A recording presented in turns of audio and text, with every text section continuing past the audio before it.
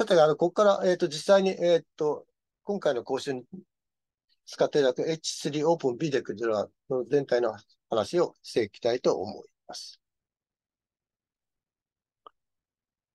えっ、と、H3 オープンというのは、まあ、これも話しますけど、我々はその、計算データ学習融合による、まあ、エクサスケール時代の革新シミュレーション手法ということで、えっー、我々はあの進めております。まあ、実際、家計の、まあ、基盤 S というのをあの中島先生のもとに獲得されて、えー、今年度まで実際に進めてくれました。まあ、その主体は、まあ、H3 オープン BDEC っていうことのプロジェクトでソフトウェアの開発になります。で、その中では、まあ、基本的にはその、えー、っと、まあ、二つ、まあ、大きな課題があって、一つは変動制度に制度保障。まあ、自動注入による新元三元期における革新的収支ということで、まあ、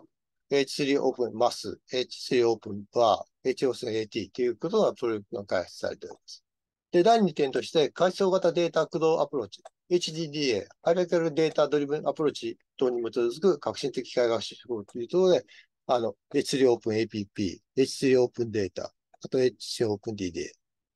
あと、この3つ目が、まあ、我々の、あの、今回の説明に、あの、お使いいたソフトウェアになります。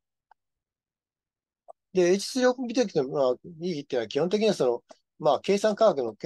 まあ、専門家のみで、まあ、S プラス D プラス L の融合を容易に実現するということで、まあ、機械学習の専門家サポートを必要せずにこのように使えたらいいだということで進めております。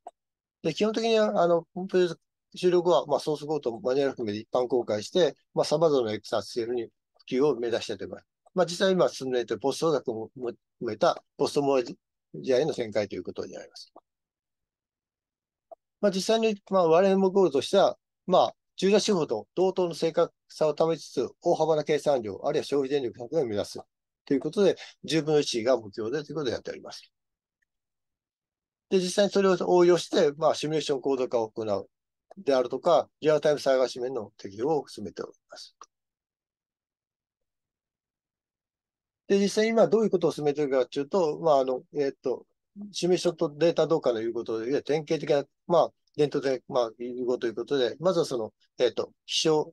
気候シミュレーターの太陽回帰シミュレーション。これは東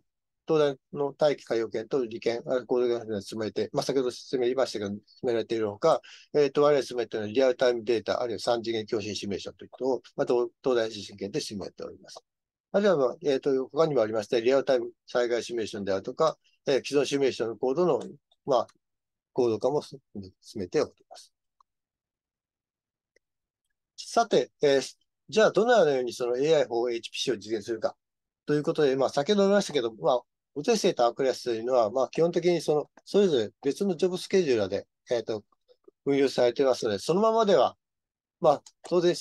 アームとインテルという、まあ、アークシが違いますので、直接 NPI 通信ができませんと。まあ、すなわち、この2つを使って、まあ、直接 NPI で通信できないということで、まあ、そこは問題になります。まあ、しかし、先ほど言いましたように、まあ、この間は、速いネットワーク結合体で、あるいはその、高いバンダーバーのファイルシステムに共有使っているので、まあ、これをうまくつないで、まあ、連動させて、えっ、ー、と、強調して、まあ、計算できないかということを考えて、我々はソフトウェア開発しました。まあ、実際にその、オデッセとアクレス間というのは今回お使いいただく H3 オープンシスウェイター用で実現されています。まあ、タイプとしては、えっ、と、まあ、ソケット通信である WaitIO Socket と、まあ、高速ファイルシステム用のの WaitIO File というのがあります。まあ、それぞれ、あの、えっ、と、特技があるんですけど、まあ、今回お使うのは特に WaitIO Socket になります。あと、あの、今回、あの、荒川様から次に高機能カップラーということで、この WaitIO 用に使われる、まあ、いかにその、えっ、ー、と、シミュレーションと machine learning を融合するかという、その H3 Open Util MP という、まあ、そこのソフトウェアも含めて、えー、開発しております。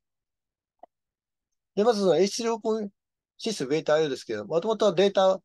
受け渡しライブラリ。まあ、ファイルの受け渡しをいかに自動化するかというので、2020年に、えー、当時そのセンターの教員であったまあ松葉先生が考案されたものになります。で、どういうものかというと、ヘテロジェンス環境下、まあ、どんなシステムでも、まあ、例えばソケット通信さえできればつながるという、そういうものになっています。で、それをコンポーネント間でファイル経由で、まあ、展開と考案されております。で、機能としては、まず、えっ、ー、と、ベストや LSA との中で、オデッセイとアクレスの間の連携ということで、まあ、さっきのソケットとファイル系の通信ができますと。あとは、まあ、で、まあ、あの、一部をその外部のサーバーにおいても置くと、まあ、外部からのデータすぐ自動できます。あるいはその読み込み書き出しの動機も自動的になります。まあ、実際に API としては C、C++、およびフォートランから呼び出し可能になっております。で、実際後で説明しますけど、NPI-like なインターフェースを提供しております。で、さらにその、えー、先ほど言いました H3 Open UTMP と連携してまあ、ウェイター IO という通信ライブを意識せずに、より、まあ、高度なカップリング、まあ、連成計算ができるようになっております。で、あと、まあ、次にその、えっ、ー、と、カップラの話をしたいと思います。連成シミュレーションのカップラということで、まあ、従来、その、従来のカップラというのは、まあ、PP オープンパス NP というのがあったんですけど、これはまあ、え特に気象とかのターゲットを絞って、まあ、複数、まあ、通常2つ、大気と海洋のアプリケーションを弱連性をサポートしておりました。で、カップラーは、まあ、C の計算にやるということになっておりました。まあ、しかしながら、まあ、今回、あの、えっ、ー、と、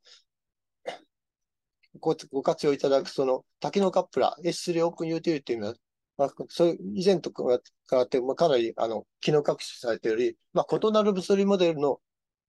連成の、まあ、アンサーブ実行を支援、統合するための機能を持っております。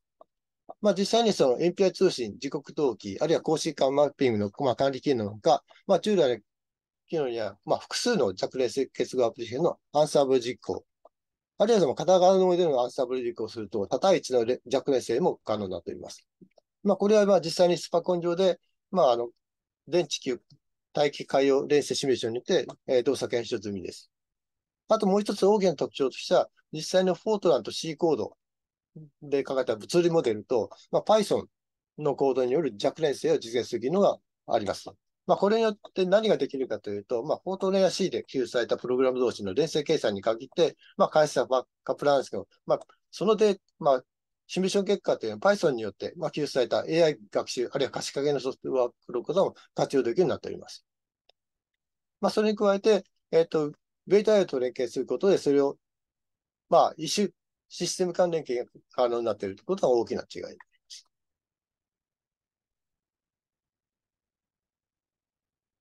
で。まあ、さらにあの詳しい情報としては、まあ、こういう形になります。